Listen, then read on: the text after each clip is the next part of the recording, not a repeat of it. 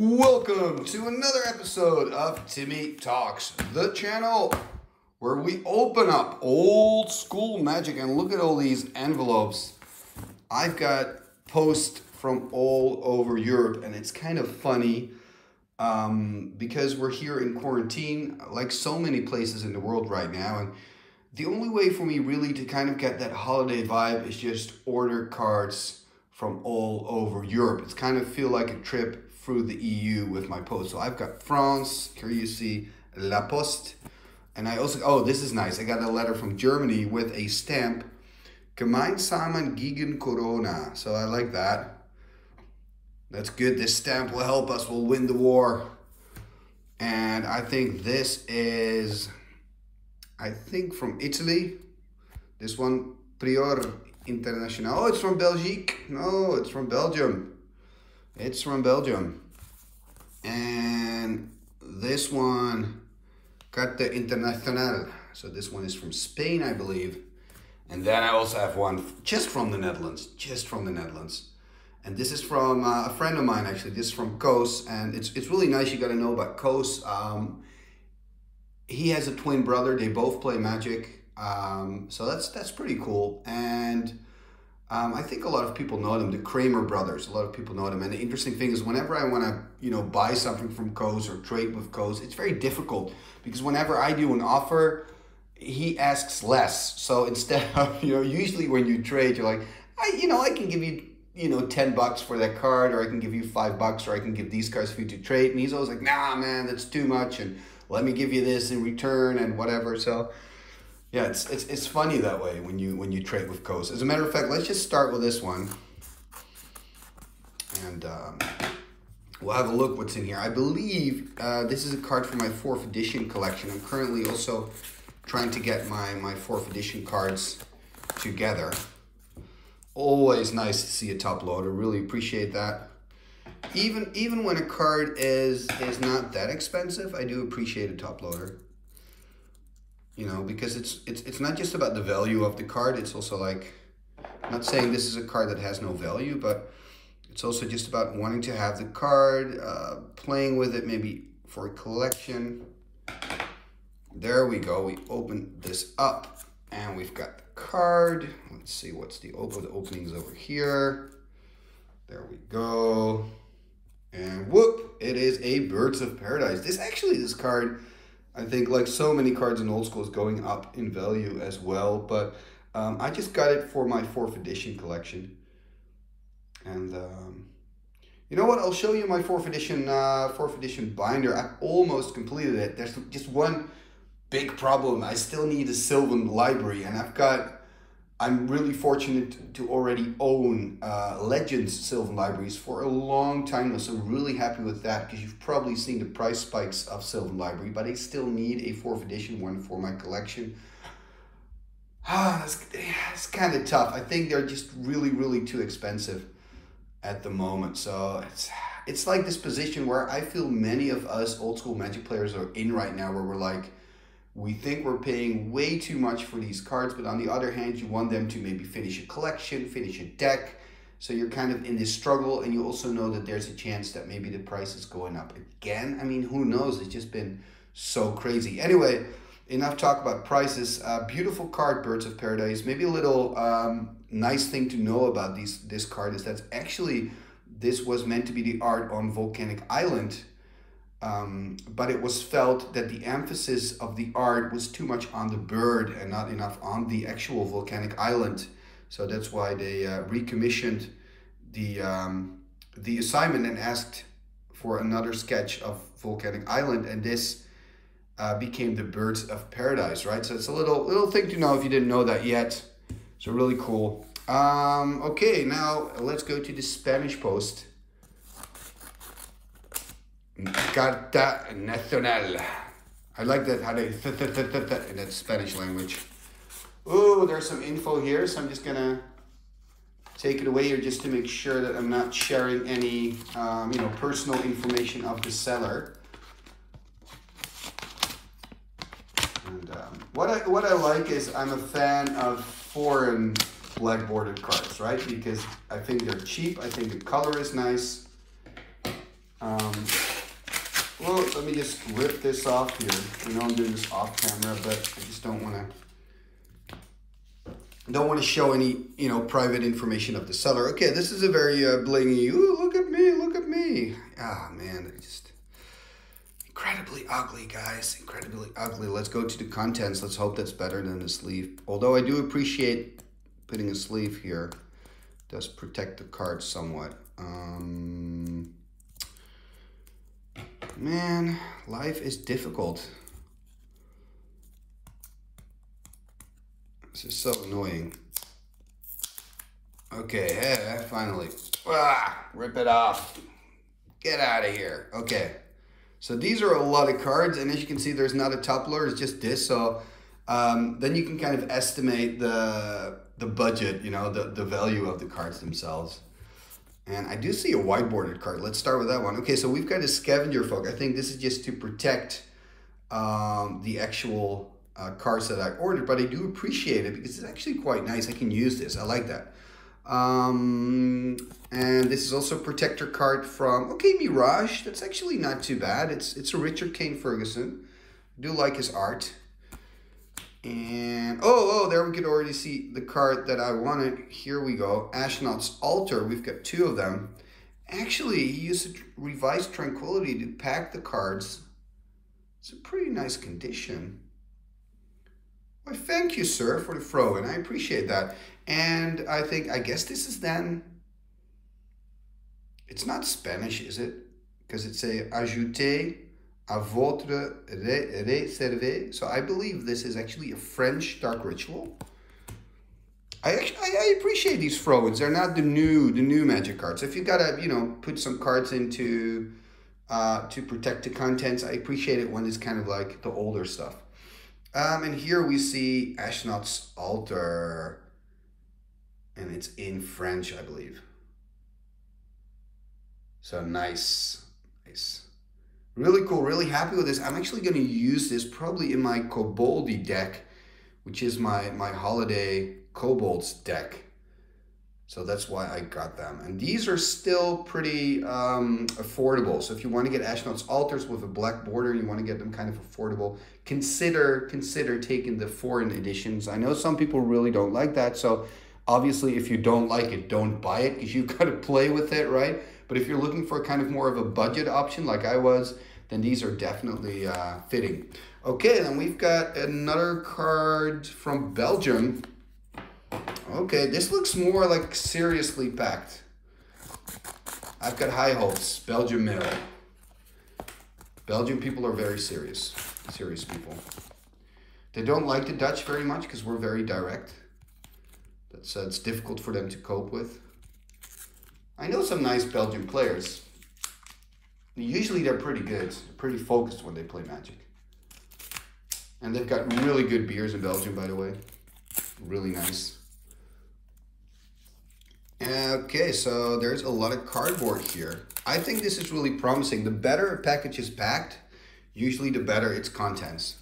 Not always, not always, but usually. And I do like this cardboard. It really, it protects, protects the cards. It does the job, you know. I appreciate it. Oh, there we go. Scissors. Okay, wow. It's like a Fort Knox package. But I think we're starting to break through at least. Okay, there's some kind of barcode on the other end. Look at this. Well protected, sir, well protected. Now we gotta open this up. So again, the scissors Go from the sides here. Bam. Look at that. Lots of cards inside. Lots of cards. Wonder what it is. Um. Oh, get out of there. Man, life life is not easy. you know, opening these is not easy. Okay, well, whoop, go, go with you. Okay, so what I got here. Oh, Flying Man. Yeah.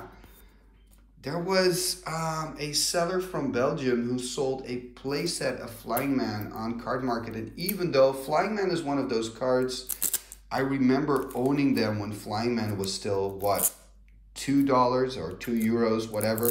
It was very cheap. And of course, now they're more expensive and it's kind of hard to then um, purchase them again because I do have an idea with this. I want to play them in a green and blue flyers deck, which I think is just really nice.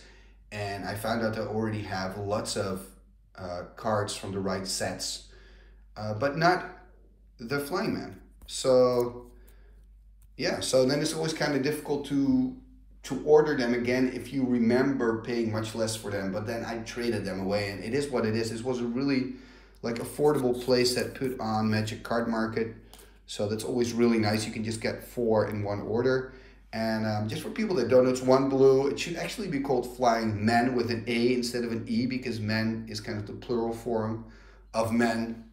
Yeah, just to give you a little English grammar lesson here. Uh, so flying men, you would expect multiple men, but there's only one. Um, and it's a 1-1, so, you know, that kind of makes sense. So it's a summon flying man, and it's got flying, so it's just a 1-1 flyer for one, kind of like the, the blue Scryb Sprites. Uh, but I think if you combine, and I've actually seen that as well, a lot of kind of nice uh, blue-green flyer decks. So I'm kind of looking looking forward to, yeah, maybe build that. I think it could be fun to play. So these are the Flying Man. Okay, really, really happy with these cards. A beautiful, nice playset of Arabian Nights Flying Man. Um, and then, oh yeah, Gemeinsam gegen Corona. Exactly, man. Exactly. Okay, so this is a card from Deutschland. And we're going to open it up. I like talking German. It's always nice. Empty. We got a card. I assume, okay, the card's on the, I can feel the card. The card's on the other side. Okay, are you ready? The suspense, it's killing me. Boom! Oh, wow. It's an island. A beta island. That is kind of cool. In all honesty, I'm not sure if I actually ordered this. So we'll have to have to find out where this is exactly coming from. So let me know if you've sent me this island. Um, thank you very much. I really, really appreciate it. This is um, actually the island that I've been going for lately in my Timmy Spellbook deck. It's really cool. Okay, Beta Island. Yeah, let's uh, see if we can, yeah, cautiously take it off. Yeah, it does look like an island that has been to places. Those are the kind of islands I like. You know, because I, I think, you know, Protocol Sorcerer Timmy is the kind of person that enjoys traveling around, you know, worldly pleasure. So I feel you got to play with islands that have also kind of been around the block as well. So there we go, a nice beta island. Wow, that's unexpected. Gonna put it here. And then last but not least, La Poste, France. France. In, um, you know, in French, I can say je voudrais, that means I want, and then I can just kind of point at the menu. Um, and this kind of helped me a lot when I was in, uh, in France or French speaking countries.